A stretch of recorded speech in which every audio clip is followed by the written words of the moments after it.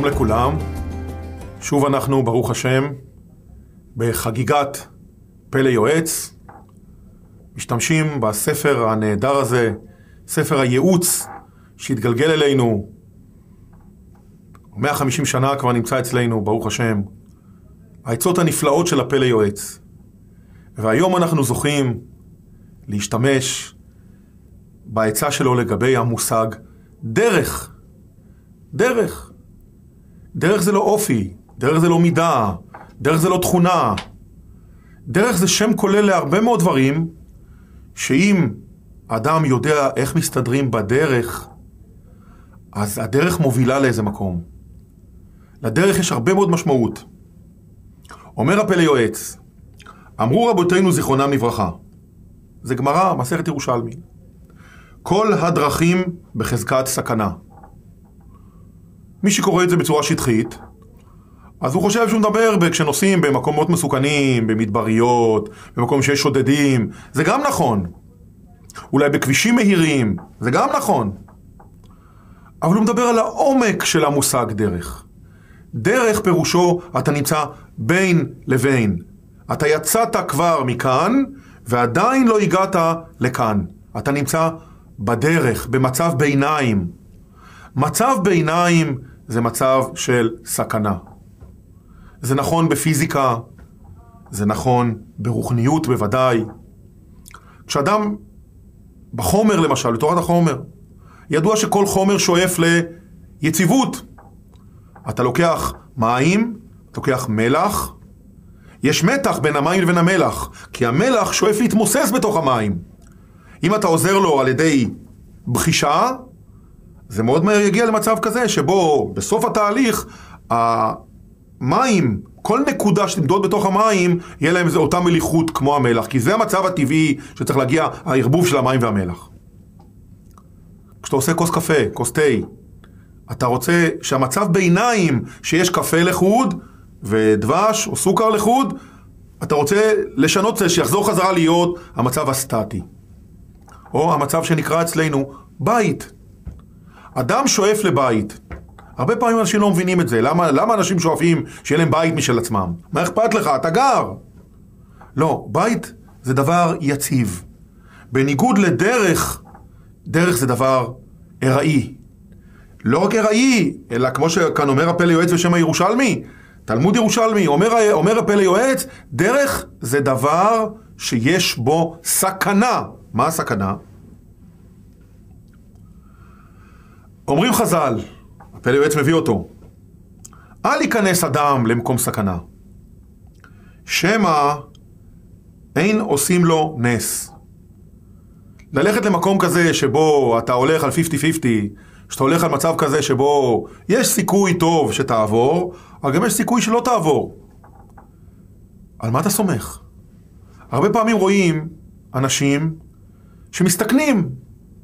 הוא חייב לעבור את הדרג'ה ביום גשום, כשמודיעו מראש, הודיעו בחזאים שמדבר יהודה הולך להיות שיטפונות. למה אתה מסתכן במצרי כזה? למה? יש לו איזה מתח פנימי, הוא חייב עכשיו להוציא מהכוח אל הפועל את ה... כל מה שיש לו בפנים, כל מה שרועש בתוכו בפנים, ואין לו דרכים טובות יותר, כמו שאנחנו יודעים שקיימות, ברוך השם, דרכים נפלאות מאוד, בתורת ישראל, בעמל התורה, בעמל המוסר, במצוות, במעשים טובים. אבל זה לא סתירה, אדם רוצה לפעמים לצאת, הוא צריך את היציאה הזאת. נו, אז הוא יוצא. למה הוא מסתכן? למה הוא נכנס למצב של סכנה? יש כביש חלק, למה אתה נוסע מעל 100? יש עיקולים, למה אתה צריך לעשות חרקה, צריך לסבור, לשבור ככה בסביב? למה? למה? זה סכנה. בסדר, סכנה, תראה, אני עושה טוב, הכל. נכון, נכון. אתה לא יודע רק דבר אחד, שלכל נס יש מחיר, תג מחיר. מנקים לך מזכויותיך את הנס הזה. אדם רואה מכונית מגיעה במהירות, הוא רוצה שתעצור לו מעבר חצייה. הוא מוריד את הרגל, המכונית נעצרת בשנייה האחרונה. ברוך השם, לא קרה כלום. לא קרה כלום? לא, אתה לא יודע מה שקרה.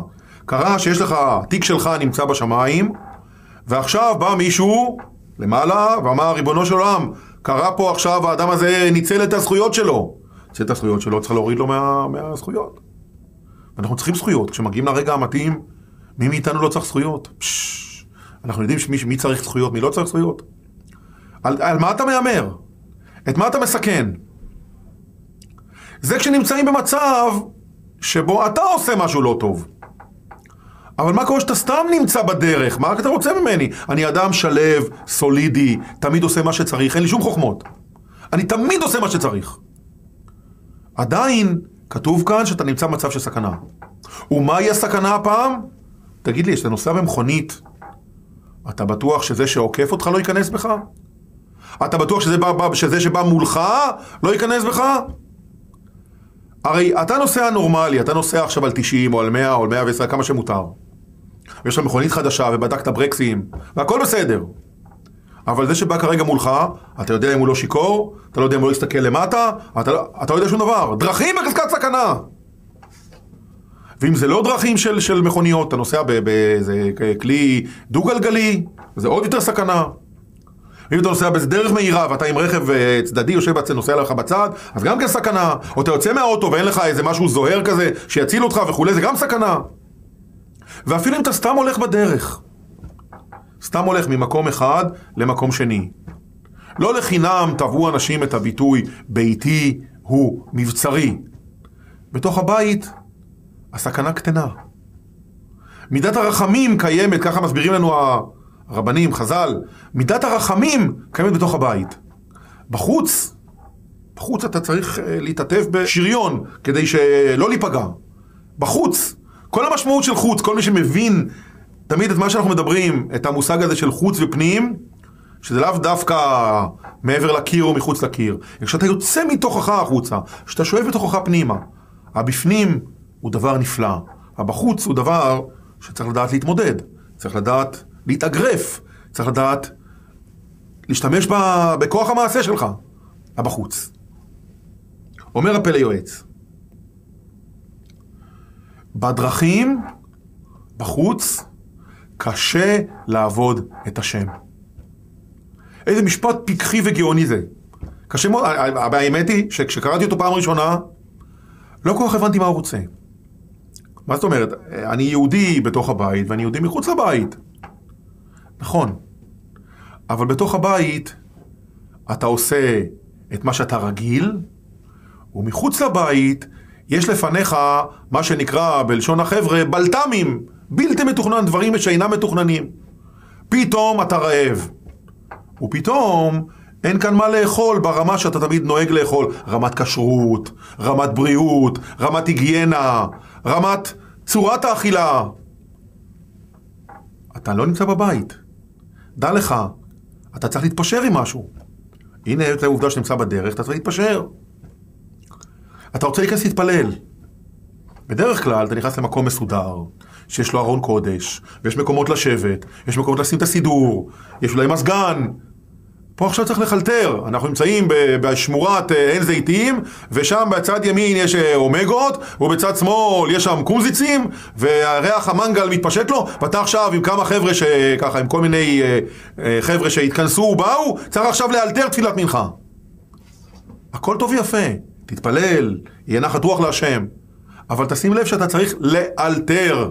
לאלתר פירושו יכול להיות שיהיה לך הסחת הדעת, יכול להיות שאין סידורים. יכול להיות אם יש, אז זה לא הנוסח שלך. יכול להיות כל מיני דברים. נכון, יהודי צריך לאלתר, צריך להסתדר בכל מצב. אבל הוא צריך להיות מודע שהוא הגיע למצב כזה שבו זה לא בבית. אם זה לא בבית, תנאים אחרים. ותנאים אחרים, אתה הולך להפסיד. ולהפסיד, אז השאלה אם כדאי לי. זאת אומרת, אף פעם לא חשבתי על זה, שכשאני יוצא, אני צריך לתכנן, אולי uh, המציאות היא אחרת. לא חשבת? בוודאי שחשבת. הראיה, שאתה יודע אם אתה יוצא לטיול, צריך להצטייד בכובע נגד שמש, צריך להצטייד בעוד כמה מכלי מים, אתה יודע את זה הרי. אתה יודע שצריך ללכת עם נעליים נוחות, אתה צריך שיהיה לך שמן שיזוף, אתה צריך שיהיה לך טלק לנעליים נגד, נגד uh, כל מיני דברים ברגליים, וכולי וכולי, כל מיני דברים שאתה יודע, אתה הרי כן יודע. את החלק הרוחני, משום מה, לפעמים אנחנו לא מחושבנים. אתה חשבנת שבמסלול שלך יש לך עכשיו 7-8 שעות בלי מקום שיהיה לך מניין? פשש, נכון, נכון, אז מקסימום תתפלל ביחיד. בסדר, תתפלל ביחיד, לקחת את הסיכון להתפלל ביחיד, אבל קח בחשבון, תמיד אתה מתפלל מניין, והפעם אתה מתפשר על להתפלל ביחיד. איפה תישן? אני אשן באיזה מקום. בסדר, רק תקרא בחשבון, תמיד אתה ישן במקום שנוח לך, ועכשיו אתה צריך להתפשר במקום שלא בדקת את כל הסביבה ואת ההשפעה. אני מדבר גם על דברים פיזיים, יהיה, כן, אתה הולך לישון, יהיה רעש מסביב שם מהלובי, או מהבריכה, או מה, מהשמש, וכולי. אתה, אתה לא יודע, אתה, אתה יודע את הכל? כמה שאתה מצליח לתת לך יותר תנאי בית, כך אתה נמצא פחות חשוף לזעזועים האלה של השינויים. רבותיי, כתוב כאן עצה שאני חושב שייקח עוד זמן עד שיפנימו אותה. העצה הזאת היא, אדם בבית הוא בשלווה. אפשר לפרוק. בחוץ יש סוג של מתח. חז"ל קוראים למתח הזה סכנה. למה? כי הוא מתנהג אחרת, הוא נכנס למצבים בלתי צפויים, וצריך שמישהו יושיע אותו, איזה חוט נעלמה. בורא עולם שלנו היקר, אבא שלנו, שיחזיק מלמעלה את המושכות כדי שנישאר במצב בלתי מסוכן. ודברים כאלה, יש לזה משמעות. כתוב שהעולם הזה הוא מלון יקר. מלון יקר. אתה משלם הרבה כסף על מלון כזה, על כל נשימה, על כל בריאות. זה יקר. זה, אנשים מוכנים לשלם על, על, על נשימה אחת, תלך לצא לבתי חולים, אנשים מוכנים לשלם על נשימה אחת הון תועפות. ולך יש את זה חופשי, הנה. איזה יופי, אני נושם, אני חי. זה בטוח? אתה יודע מה יהיה בדקה הבאה? מישהו נתן לך עכשיו אה, חתימה? לא. אז כל דקה, דע לך, כל דקה זה מתנה עצומה. אל תפקיר אותה בשביל איזה משהו שלא הגדרת אותו מספיק טוב. אומר הפלא יועץ, אותם הנודדים ממקום למקום, ומעיר לעיר, בשביל כל מיני סיבות. אחד צריך לקבץ ממון, אחד צריך לעשות איזה עסקה, אחד נוסע לחתונה, אחד יוצא לבקר איזה מישהו, יש הרבה סיבות לצאת. אבל הרבה פעמים, אם יצאת ולא היית מספיק מוכן, כן, אדם נסע לטיול. לא לקח בחשבון שבאותה ארץ שהוא מגיע אליה, יש שודדים בשדה התעופה. אתה נמצא במקום כזה שבו הלוואי שתצא בשלום, עם המזוודה ביד. ממליצים לך לתפור את הכסף בתוך החגורה, לשים איזה משהו לסגור, לצאת רק עם, אה, עם travelers uh, check, לא לצאת עם, עם uh, כסף מזומן וכולי. למה זה ככה? כי יש מקומות שסכנה. אתה נוסע בספינה, יש מקומות, כל אחד יודע, בכל מיני אוקיינוסים למיניהם, ששודדי ים. זה לא סיפורים שם של פעם, של uh, דני דין. זה סיפורים של היום, יש שודדי ים. יש שודדי ים, יש דבר כזה. אתה נוסע, קח בחשבון שצריך לעשות ביטוח, שלא לא תיכנס סכנה, שלא תמצא את עצמך במקום אה, בן אדם שיוצא לו בבוקר כל היום בחליפה, והולך למשרד, במקום זה הוא ילך עכשיו אה, להסיק את האש אצל איזה שודד ים סומלי, אני לא יודע, משהו כזה. הדרכים זה לא דבר פשוט. לכן מי שיש לו מוח בקודקודו, אומר הפלא יועץ, עם כל העוצמה שלו, לא ילך בדרכים כאלה אם לא יברר קודם כל את הדרך. ולא יברר שבדרך מועטת הוא יכול להשיג את מה שהוא צריך. פעם היה לי סיפור. נסעתי פעם עם אחד מגדולי ישראל. נסעתי לבקר את אשתו, עליה שלום. נסעתי לבקר את אשתו, שהייתה עדיין מאושפזת בבית חולים, ונסענו, והיה פקקים בדרך. היה לי זכות לקחת את הרב הגדול לידי, ואמרתי לו, הרב, אני רואה שהדרך הראשית היא מלאה פקקים. אכפת לרב אם אני אעשה כמה מעקפים, אני אסע בדרכים משניות? מסתכל עליי ככה, נתן לי חצי חיוך כזה, ואומר, תעשה מה שאתה רוצה. אבל אני לא יודע אם תרוויח מזה הרבה. אמרתי, למה הרב? הדרכים המשניות הן אה, לא פקוקות, הדרך הראשית פקוקה. מסתכל עליי עוד פעם, אותו חיוך כזה מקסים. הוא אומר, תעשה מה שאתה רוצה. אבל לא יודע אם נרוויח מזה הרבה. עשיתי מה שרציתי, ולא הרווחנו כלום. כי בפקקים המכוניות זרמו. ושם מכונית אחת בדרך העוקפת, מכונית אחת נתקעה באמצע הדרך שם, ברגע שהיא נתקעה לרגע אחד, אז הפקק עוד יותר גדול ועוד יותר חלש, והגענו בסיבוב גדול. אז לפני שהורדתי אותו, לפני שהוא ירד, אמרתי לו, הרב, רק דבר אחד אני מבקש, איך הרב ידע? אז הוא אומר, יש לנו כלל, שבדרכים יש מושג שנקרא דרך המלך, ויש מושג שנקרא דרכים שאינם דרך המלך. מקובלנו שדרך המלך היא הישרה ביותר. ככה מקובלנו. דרך המלך היא הישרה ביותר. אם נפיק מזה לקח, לא נפיק מזה לקח, נדע שכשאתה נוסע מכאן לשם, אז אל תחפש כל מיני צדדים, תנסה לנסוע בדרכים העיקריות. אולי מישהו יגיד אחרת, שהיום זה לא ככה וכן ככה.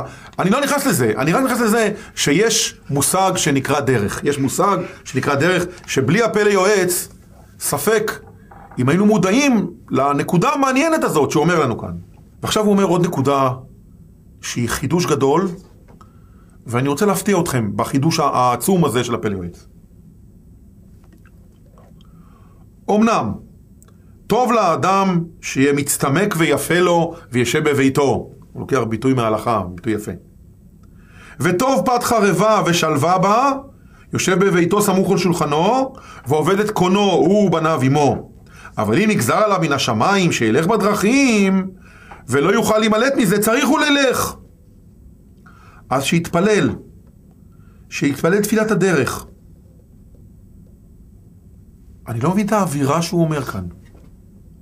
אני לא מבין, מה זאת אומרת אם נגזר שילך? נגזר? אני רוצה ללכת. מה זה נקרא נגזר עליך ללכת? אתם יודעים, היה פעם אדם אחד מאומות העולם, קראו לו אריך פרום. הוא כתב ספר שנקרא מנוס מחופש. הוא מתאר את האדם הרגיל שחי בבית. יש לו את הזמן שלו, יש לו את הזמן להיות עם אשתו, יש לו את הזמן לשחק עם הילדים, יש לו את הזמן לדוג, הוא קורא לזה. והנה, פתאום שינו לו את החיים. פתאום יום אחד בא למישהו עם סוס ועגלה, בא לכפר שלו. עד אז לא היה להם סוסים ועגלות, היה לו את החמור שסוחב את המחרשה, אבל לנסוע על סוסים הוא היה צריך להגיע לכפר השני, אז הוא עושה את זה פעם בחיים, היה מגיע לכפר השני, הוא הולך ברגל וחוזר. והנה הגיע הסוסים ועגלות. פתאום הוא רואה שלהגיע לכפר השני זה כבר לא כל כך קשה. אתה רותם את העגלה שלך לסוס, שמת את הדברים, ומגיע לכפר השני. החיים קצת היו פחות יציבים, כי אני מגיע עכשיו מכפר אחד לכפר שני. אבל העיר הגדולה, לא, לשם זה כבר פעם, אה, זה, פעם בשבוע, אולי פעם בחודש, להגיע לעיר הגדולה. בכל זאת הסוסים מתאמצים, בכל זאת העגלה, בכל זאת קשה. בכל זאת, כמה ימים להיעדר מהבית. והנה יום אחד, הייתה מהפכה טכנולוגית. פתאום התחילו להגיע לעיר רכבות. רכבת כבר אמנם הרכבות הפרימיטיביות הראשונות היו סור רעש גדול ונסעו מאוד לאט ועשה ענן ועשן והכל אבל הם נסעו כבר, יכלת להיכנס לרכבת ולנסוע כמה ימים ולהגיע כבר לעיר הבירה או להגיע אפילו לארץ אחרת, מי שמע על דבר כזה? לאט לאט כותב אריק פרום הסופר לאט לאט ראית שהבית שלך כבר לא מספיק יציב, אתה ממשיך הלאה ופתאום יש מכוניות אתה לא תלוי באיזה מסלול אחד של רכבת שנוסע עד התחנה ההיא ומשם לך תחפש את דרכך לאן שאתה צריך. רכבות עוצרות בנקודות. במכונית אני כבר עושה מה שאני רוצה. נוסע במהירות של רכבת ומגיע לאן שאני רוצה. אמנם שוב המכוניות הראשונות היו מאוד מאוד פרימיטיביות, אבל לאט לאט זה השתכלל. ואחר כך, הפלא ופלא. מטוסים! מטוסים! אתה יכול לעלות בארץ הזאת ולנסוע כמה שעות ולהגיע לארץ השנייה. כבר לא כל כך קשה. עוד יותר ערעור. ככה הוא כותב, זה מתאר את הערעור שבזה. את מה שהפלא יועץ אמר לפני 150 שנה, אז כותב רפרום, עוד, הפלא יועץ היה עוד לפני המהפכה התעשייתית, עוד לפני כל הגדרים האלה שאנחנו היום נוסעים ונוסעים ויש לנו כל מיני דברים. שדה התעופה, פרוצדורה תבוא שעתיים קודם, צריך לבדוק, צריך מכס, צריך ל- ל- ל- לברר שלא יכניסו לך חפץ חשוד, צריך לעלות, לוודא את הכרטיסים, לעשות צ'ק אין, צ'ק אאוט, צ'ק זה, צ'ק זה. עוד טרדה, עוד מוח, עוד עובד. נו, אחרי, אחרי מטוסים? אחרי מטוסי הסילון? יש היום חלליות. צעד קטן לאדם, צעד גדול לאנושות. אפולו 13 הגיע לירח. לירח! יואו, תראה לאן הגענו כבר, אתה לא צריך להגיע לכפר שלך ולעיר השנייה, אתה מגיע כבר לירח. זה לא האווירה שהוא כותב כאן. הוא כותב כאן הסתכלות מצד שני. אמנם הטכנולוגיה התקדמה, גדלנו, אה, צעד אחד קטן לאדם, צעד גדול לאנושות. אבל יש פה גם... האישיות שלך קטנה קצת ביחס לכל הקוסמוס. מבינים את הנקודה שהוא אומר כאן? הוא אומר כאן יש פה דבר מאוד מעניין. הוא קורא לספר שלו מנוס מחופש. מנוס מחופש, היית, היית בחופש, לאט לאט אתה נס מהחופש, אתה, אתה לאט לאט תלוי בעוד דברים ועוד דברים ועוד גורמים, ובהתחלה הנסיעה לעיר השנייה הייתה עולה חצי שקל, עכשיו זה עולה חמש שקל, עכשיו במטוס זה, זה כבר מאות דולרים, אולי אלפי דולרים, בטיל כבר צריך להיות מיליונר בשביל לעשות טיסות וכולי וכולי, ומי אמר שאפשר? הדרך היא מפתה, אתה נוסע, אתה מתקדם, אבל לדרך יש מחיר, אתה מאבד את האדם שבך. חברים יקרים, יש כאן הסתכלות מעניינת מאוד, מחכימה מאוד, ולמי שמעמיק, הסתכלות מעמיקה.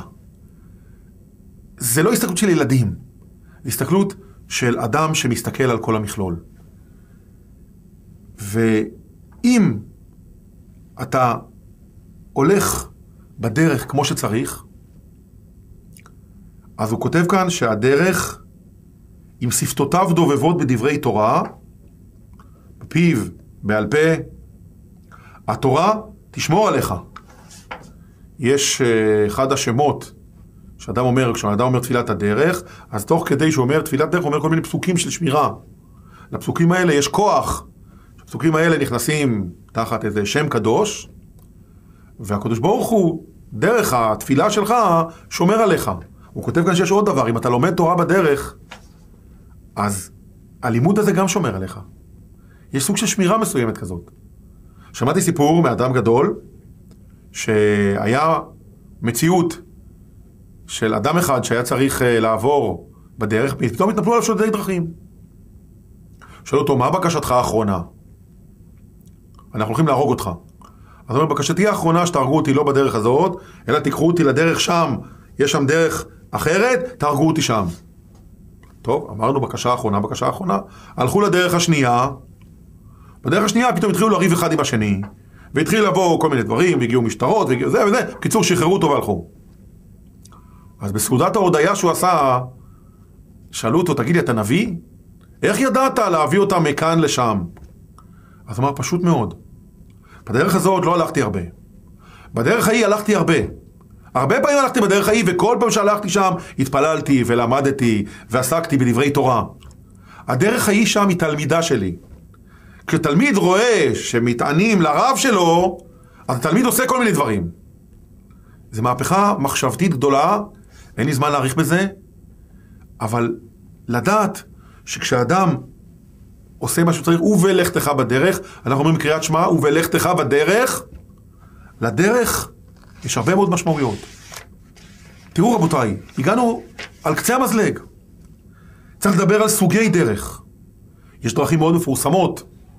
דרך בית לחם, בדרך של קבר רחל, רחל נקברה שם, רות ונעמי עברו שם, הגולים יוצאים משם לבבל, שיבת ציון עוברת דרך שם. צריך לדבר מה נקרא דרך, שלדרך יש משמעות שאפשר לגדול דרך הדרך. אשר קרחה בדרך אצל עמלק, זה גם כן דרך. על ידי הדרך עמלק ניסה להוריד אותך, כי אתה נמצא בדרך. אדם עובר בדרך, עובר תחת קיר נטוי, מנקים לו מזכויותיו. הדרך למצרים, ויהי בדרך במלון, ויבקש לעמיתו. בדרך לשכם, האחים מכרו את יוסף. דרך זה דבר גדול, דבר עם הרבה כוח, דבר הרבה שינויים. ידע האדם, נדע אנחנו, כל אחד ואחד מאיתנו, נדע להיזהר בדרכים, לא להיכנס לסכנה, להשתדל לשמור על הדרך ולהבין שהדרך לעומת בית זה מצב כזה שבו כדאי להישמר ולתכנן וללכת בה בדרך הנכונה. ואשרי תמימי דרך, ככה מסיים, מסיים הפה ליועץ, וככה גם אנחנו נסיים. אשרי תמימי דרך ההולכים בתורת השם. שלום ולהתראות וכל טוב לכולם.